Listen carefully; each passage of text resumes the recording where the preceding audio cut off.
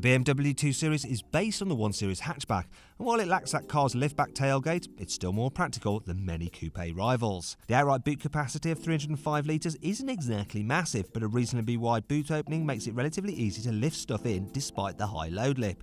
Plus, the boot features a handy cubbyhole, storage net, shopping bag hook, and 12 volt socket. You can fit two large suitcases in the boot of the 2 Series, which is quite impressive, even if it's a bit of a squeeze. And there's easily space for a stroller and other baby paraphernalia. Plus, there's room for golf clubs too. Important in this kind of car. Fold the rear seats down and you can carry a TV sized box. And you can load two medium sized boxes plus two small ones through the doors and onto the rear seat backs. Afterwards, you can then fill the rest of the boot with a small suitcase and a few soft bags. You can also fit a bike in once the front wheel has been removed, though the rear seat releases in the boot do get in the way somewhat. The 2 Series is actually pretty good in the back, though the rear bench is a strict two seater. There's just enough headroom for average sized adults, but smaller ones, they'll be quite happy. Legroom is acceptable too.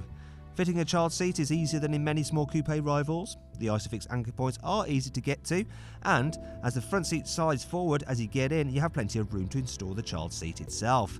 In-car storage is amazing for a sporty car. You can fit a 1.5 litre and 1 litre bottle in the door bins together. Also, you get a big glove box and some handy cup holders in front of the gear selector, plus the space for your phone. Overall, the BMW 2 Series is very practical for a small sporty coupe.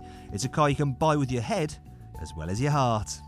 Click over there for our 360 degree and infotainment video for the BMW 2 Series, plus its in-depth video review. And if you enjoyed this video, please like it, share it and subscribe to our channel.